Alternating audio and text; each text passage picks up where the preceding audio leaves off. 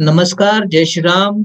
Humming bird wealth care की तरफ़ से सभी को नौ वर्ष की बहुत बहुत बधाई। ईश्वर आपकी वेल्थ को साल दर साल तेज़ी से बढ़ाता रहे, आप हेल्दी रहें, ऐसी मेरी ईश्वर से प्रार्थना है। दोस्तों, आज हम बात करते हैं टाटा मोटर्स ग्रुप की पाँच कंपनीज़ के बारे में, जिसमें सबसे पहली कंपनी आती है टाटा मोटर्स काफ़ी हॉट स्टॉक रहता है।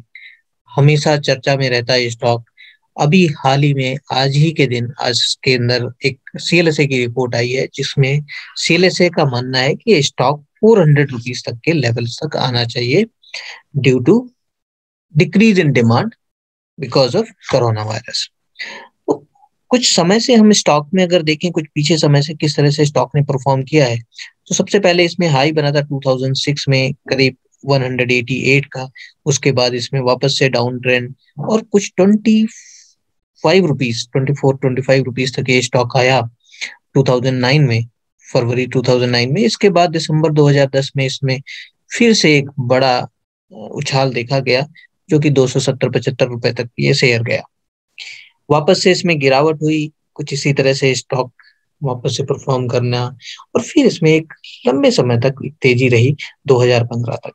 2015 के बाद वापस से इसमें गिरावट आई। एक डेढ़ साल तक नीचे रहने के बाद वापस से शेयर ने पुराने लेवल्स को टच किया और फिर से 2016 से कंटिन्यूस गिरावट में रहा ये स्टॉक और इसके बाद फिर से इसने एक नया लो बनाया approximately sixty two sixty three rupees का। और उसके बाद मार्च 2020 से इसमें लगातार एक तेज़ी में है स्टॉक हर दिन नए नए अपडेट के साथ सुर्खियों में रहता है स्टॉक और ये अभी कुछ four hundred eighty nine rupees पे ट्रेड कर रहा है। स्टॉक में अभी हाल ही में बहुत सारे लोगों ने इसे रिकमेंड किया बाय रिकमेंड किया और किसी का टारगेट है फाइव हंड्रेड सेवेंटी और अभी आज ही के दिन सी एल एस ने रिपोर्ट जारी की और जिसमें टारगेट रखा है फोर हंड्रेड रुपीज़ का। तो टेक्निकली क्या ये चार्ट उस तरह से परफॉर्म करेगा, नहीं करेगा? इसके साथ साथ हम क्या देखते हैं कि टाटा ग्रुप की कुछ और कंपनीज़ को एनालाइज करते हैं। जब भी उनमें अगर कोई पैटर्न बना है और पैटर्न का ब्रेकआउट हुआ है और पिछले लेवल्स को इसने ब्रेक किया है तो इसमें किस तरह से तेज़ी बनी है? तो ये चार्ट है टाटा स्टील का। टाटा स्टील 2021 अप्रैल के मंथ में इसमें एक ब्रेकआउट आता है, जो कि पिछले 2007 के लेवल्स को ब्रेक करता है। स्टॉक में एक लंबी तेज़ी देखने को मिलती है और जो कि 1530 थर्टी फोर रुपीज़ तक ये स्टॉक है। लगभग ऑलमोस्ट डबल हो जाता है अपने पुराने लेवल से। दूसरे स्टॉक को हम देखते हैं टाटा ग्रुप की कंपनी के टाटा पावर टाटा पावर के अंदर भी अगर मैं देखूँ 143 के आसपास इसमें वापस से ब्रेकआउट आया और ये भी एक ब्रेकआउट जो था, एक मल्टी ईयर ब्रेकआउट था 2007 का ब्रेकआउट था और ये भी स्टॉक लगभग वहाँ से दो गुना हो गया।